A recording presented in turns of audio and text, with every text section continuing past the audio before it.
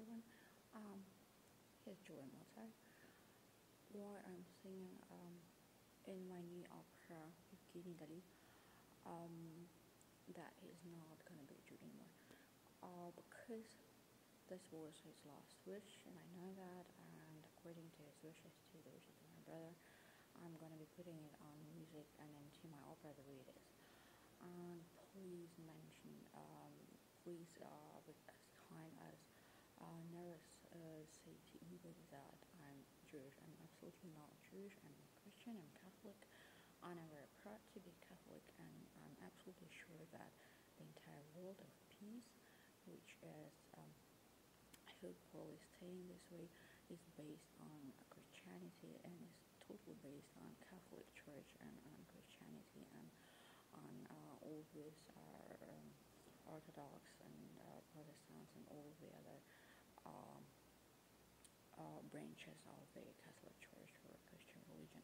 So I'm absolutely not Jewish. I like the church this way. I'm showing you. This is a Catholic church. That's the way I like it.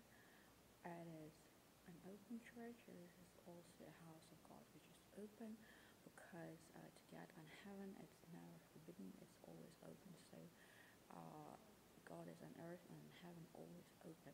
This is the right way to handle a church and to build a church. I'm in Holland and this is one of the most lovely churches I've seen in my life.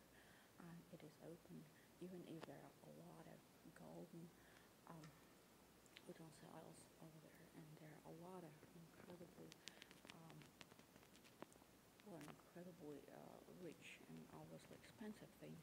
Nevertheless, this church is open, so this is the way of uh, uh, this is the way I see God. It's always very, very maybe expensive, but and rich, but it's open.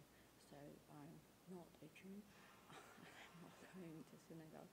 I'm absolutely a Catholic, and I'm really happy to be this because this is the most peaceful religion, or this is the religion of education of the life, and this is also the religion, uh, the oldest, built up because most of the people are Catholics around the world and this is the way of peace so this is the right way goodbye